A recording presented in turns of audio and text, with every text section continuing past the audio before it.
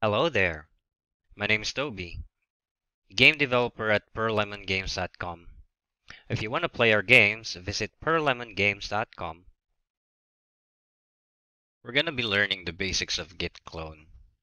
So first, let's ask what what is git clone? Basically, git clone is creating a clone or a copy of a remote repository.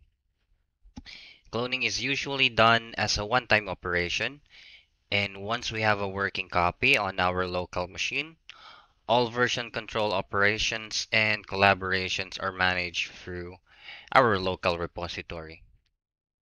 Also, take note that cloning automatically links a connection to the original repository, or in our case, the remote repository.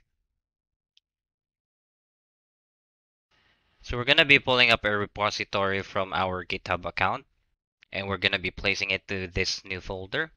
So this is the repository that we're going to be pulling from our GitHub account and cloning it to our local machine. So we need to go to our GitHub desktop account and click on File, Clone Repository, and then click on the, the correct repository.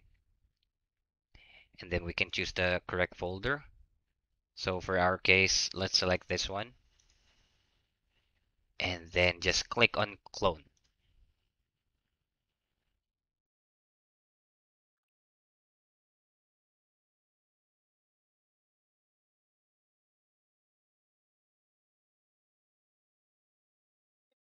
Now, as you can see here, we are currently selected to the, the repository that we just imported.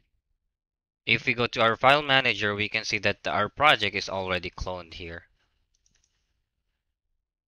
We can now open this using our Unity Hub.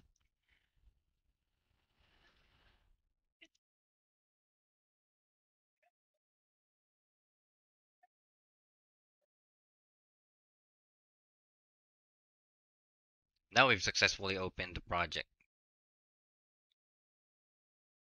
So basically what we did is we made a local copy of an online re or remote repository from our from the same GitHub account that we're using. And again, the, the local repository that we made is the, the direct link where we got it from. So any commits or any changes that will be pushed will be synced with the remote repository. And that's it for this tutorial. Have a great day.